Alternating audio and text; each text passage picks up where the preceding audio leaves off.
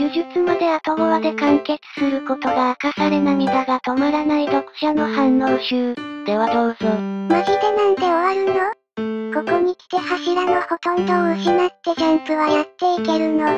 いや仕方ないのかもしれないけど呪術自体もまだ畳めるほど詰まってなくね。マジでこのタイミングで終わらせる意味もわからないけどなんだろう。もうただただ悲しいな。最近ヒロアカロスを呪術で埋めようって思ってたからなおさら。終わらない漫画はないってのはもちろんそうだけど実際にここまで売れてるからこそ永遠に続くと思ってたものがこうやって終わるって知らされたら結構きついものがあるな。平安編も、はかりのところも1億人樹齢もまだまだ回収してない部分が多すぎてどうやって終わらせんのこれマジで言ってんの？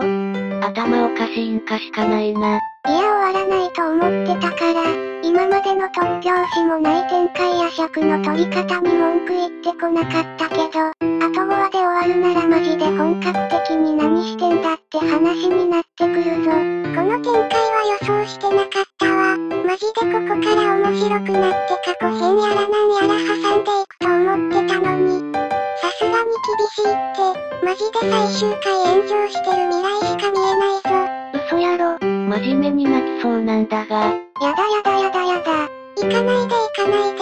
今呪術しかハマってないし人生の学趣味なんだが。え？マジで？いや、いや、エアト5回で終わるの。確かにラストバトルだけどあと5回。あと5は、終わるのこれ。救済挟んだとしても10月中には終わるかね。みんな引き伸ばし嫌いだろうけどいくらでも引き伸ばしてほしい。勝手にあと20話はあると思ってました。寂しいよやばい。裏埋めは、話数的に裏埋めはなんかあっさり処理されちゃうの。寂しいよ単眼猫。そんな平安過去編は測り部数裏埋めは。5話で終わるか？って感じだけど先生が言ってるんだから終わるんだろうな寂しい。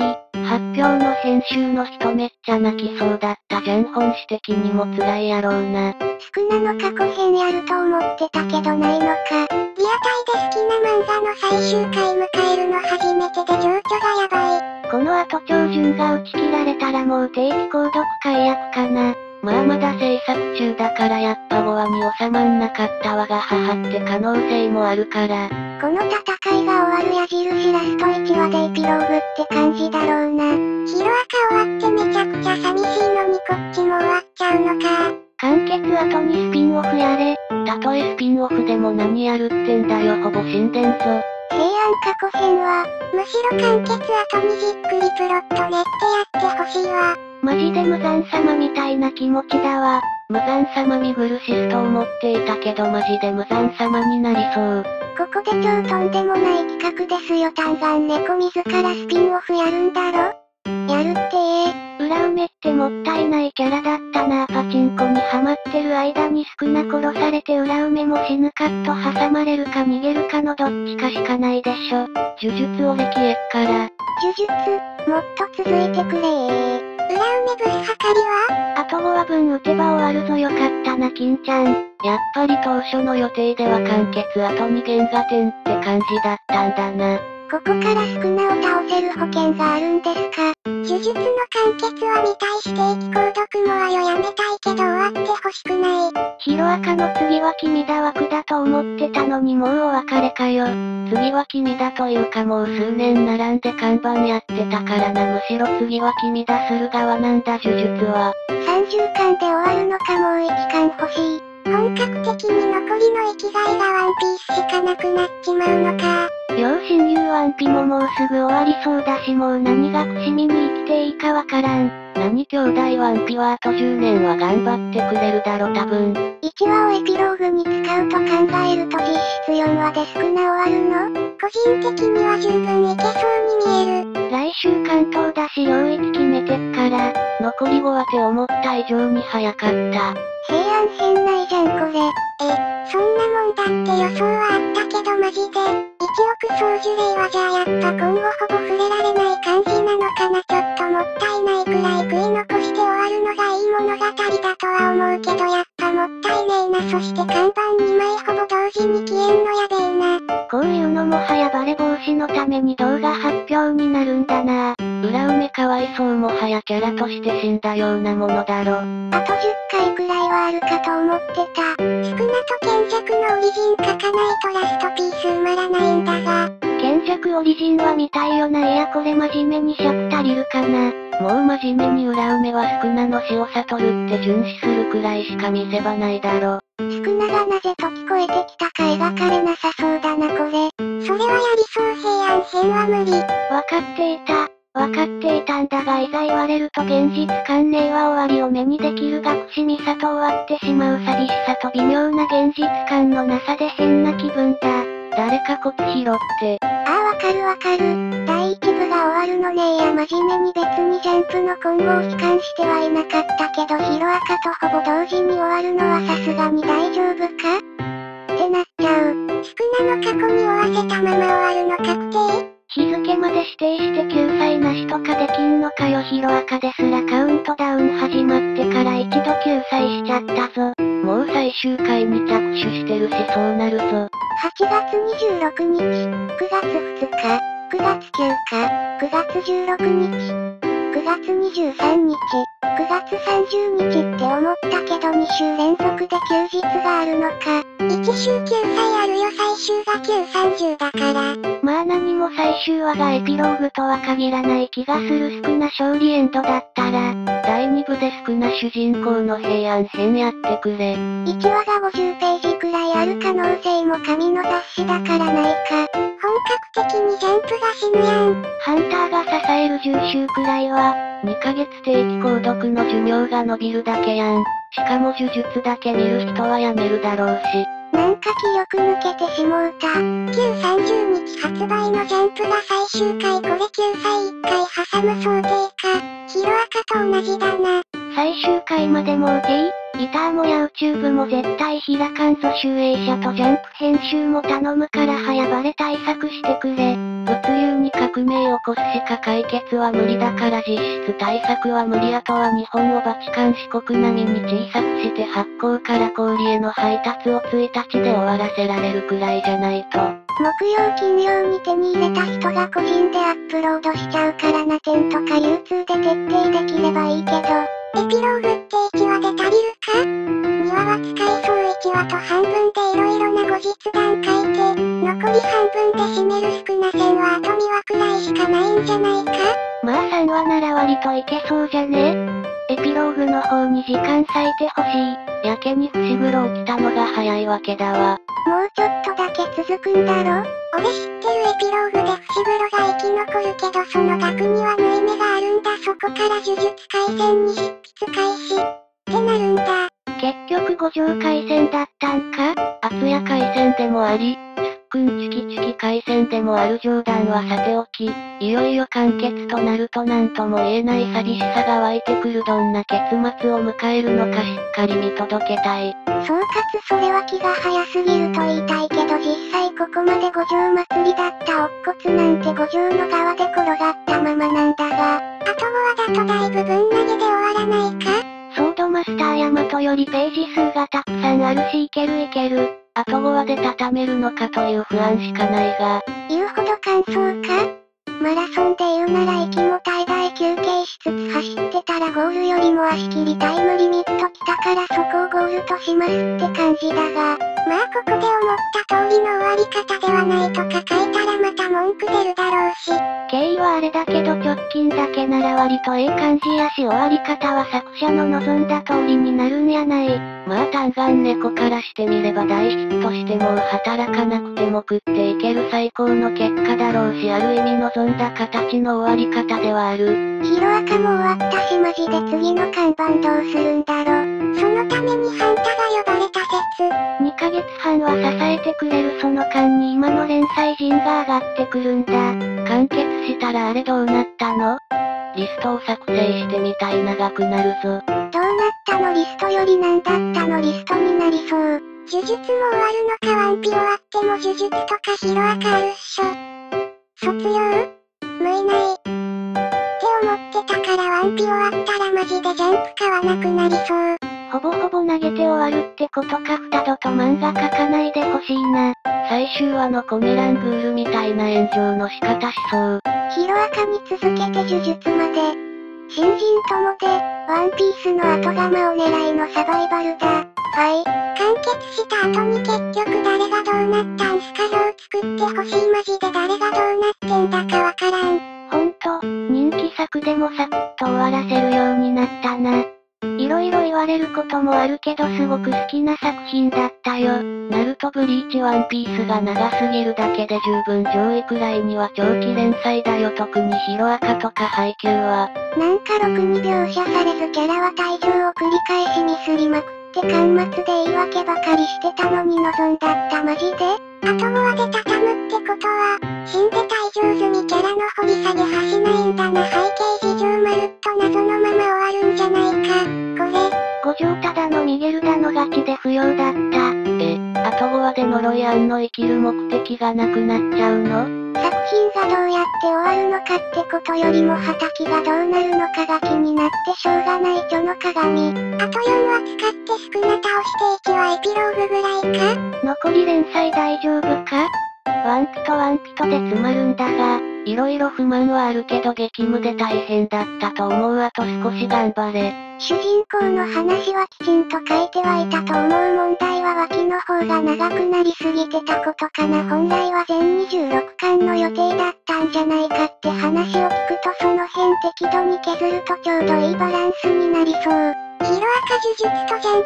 プの飛車角が終わってしまう。あと5話ってことは少な倒しておしまいだよね乙骨も釘先も賢弱もガチであれで出番終わりマジかよなんだこの漫画。だらだら続くよりサクッと終わってくれた方がありがたいけどほんとジャンプも層が薄くなってきたな。頑張ったら面白くなりそうなまま終わるのか。この作品はこうして駆け抜けていくもんだと思ってたから、しくなるけど学士に。1話あたり1000ページ書いてもええんやで。本編終わった後でエピローグ的なのというか番外というかを書いてほしい感はある。平安過去編をやってほしいしいっそ全然想像もつかないようなモブでもいいからあの世界の話がもっと見たい。第一部間、とかせずちゃんと終わらせてくれたらそれでいいや。後にはないし3話で少な倒すか封印で5話事後処理からのエピローグで締めかな。少な戦が始まってすでに40話経ってるのにあと5話で倒せるのか？今週の話で脳のダメージも回復してるっぽいのに。セリフ回しのセンスとか表現方法がいいからガバガバではあるけど個人的には好きな作品だったよ。でも次回作書いても普通に打ち切られそうな気もする。ヒロアカに続いて呪術もか。5話で終わるのかという不安と寂しさがあるけど、残り5話もしっかり見るぞ。死滅回遊って何だったの？ヒロアカも終わって呪術ももう終わるとは救済挟みながら5話やると、10月再開の反対のバトンタッチがギリギリ間に合うのかな？物語を畳むのはどんな漫画どんな作者でも難しいことというのは分かってるつもりだけど呪術はもう少しやりようがあったと思わざるを得ないまだ5は残ってるけど、少な倒すだけでいいなら5はあればで十分なんだろうけどなんか消化不良な終わり方になりそうやなこれ。サム8、アクタージュ、ハンター×ハンタージャンプの柱どこ行った？なんか面白くなる要素はいっぱいあるのにその面白くなる要素をはしょりまくってきた漫画だったなって感じ丁寧に描写していけばもっと面白くなったやろ。終わるなかったらこれまでの尺の取り方アホだろ。はかりと裏埋めが立ちやりながら終わりそうで草。これだけ連載終了を嘆いている読者を見るともっと連載すべきなのではと思ってしまう。ここまで来たらいっそはかりと裏梅はスピンオフとかで消化してほしい裏埋めが文句言いながらもはかりとパチを打ちに行く漫画で頼む。今年は終わらないと思ってたそろそろ定期購読もやめときか。正直、少なげ当選で死滅回遊編が終わって、その後に少な完全体と戦う完結編やるんだと思ってた死滅回遊始まった時ここで終わると思ってた人おらんやろ。平安編内ってマジ？呪具二つ持った完全体少なが暴れ回るシーン期待してたんだが、虎杖がついに主人公になった。って感じの話だったななんか進みが早いような遅いような、1話の満足度は毎回高いんだけど、進みが遅いんだよな。虎取の主人公っぷりは割と前から続いてたと思うただ1話の進みが遅いってよりは展開を濃縮しすぎてなんか間延び感がすごいってのがあるからじゃないかな。伏黒と虎取の絡みが、こないだもう絶望しためぐみと話すって感じだったけど、本音でぶつかり合うみたいな展開が見れただけでもよかったし、虎取の本音が聞けてよかった。めぐみの開幕もいいんだ。が辛いんだけどこいつマジでそろそろ立ち直ってなんとかせえよ。これで全員死んでお前だけ残ったらマジで大先輩だぞ。めぐみが先輩って言ってる人いるけど、そもそも虎取が少なの器だから感覚バグってるだけで、恩師も慕ってる姉さんも自分で殺してしまってるなんて戻るのも無理だろ。そもそも器としての体制が恵みにはあったってだけで少なのことをコントロールして虎取みたいにできるわけでもないし、マジで恵みが気の毒で仕方ないよな。花と幸せになって、積み木が理不尽な不幸に見舞われない生活を作る。って目標というかなんとなくそうなればいいなってのを自分の中で持ってたのに、それを自分で壊しちゃったんだもんな。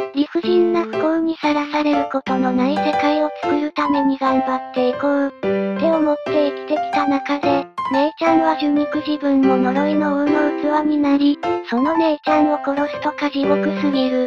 というかシンプルに、この物語の中で一番苦労して一番しんどい状況にあるの絶対伏黒だよな。こんなんもシリアルで経験したら俺だったら立ち直れないし、もういいんだとかの会話もできない。手癖で作った料理、日の当たる洗濯物、西日の中ってこれ恵みの理想の幸せな一日ってことだよな。なんかもう辛すぎて泣きそうなんだけど、マジで報われてくれよ恵み。なんかマジで、味がある絵を描くなって昔から思ってたけどここのシーン見て本当に絵が上手くなったなってなったわ。この場面マジですごすぎる。過去一族ってした。芥見先生は、キャラの描き方とかそういうのも確かに上達して入るんだけど、こういうものとか物体を描いてる時の方が味が出るというか、雰囲気出すのうまいってのは確かにわかる。こんだけ思いついたちを過ごしたいっていう目標があるのにもういいんだってなるなよ。頑張って生きてくれよ。ああ幸せだなって恵みの口から聞きたいよ。そもそも呪術師として生きていく上で、幸せを感じることはほとんどできないと言っても過言ではない中で、当たり前の日常を幸せだと思いたいって言いたい恵みは素敵だなって。死ぬ時は一人だよ。っていう五条先生の言葉があるからこそこういう何気ない日々を一番近くで感じて大事にしてその上で幸せだなって思いたいってお前。戻ってきてくれよ。じいちゃんの話がここで出てくるのも何か意味があるような気がしてならないんだよな。1話のところを今回収しに来てるというか、なんか意図的な感じがするんだよね。副作用が強い治療を拒否したってことは、もうここらで潮時だなって思ったってことだよな。そうなると虎取が生きろ。っていうのもおこがましいみたいな感じか。今回は以上になります。このチャンネルでは話題になった人気の漫画についてのみんなの反応を紹介しています。動画制作のモチベーションになりますので興味を持った人は良ければ高評価チャンネル登録コメントをよろしくお願いします。それでは最後までご視聴いただきありがとうございました。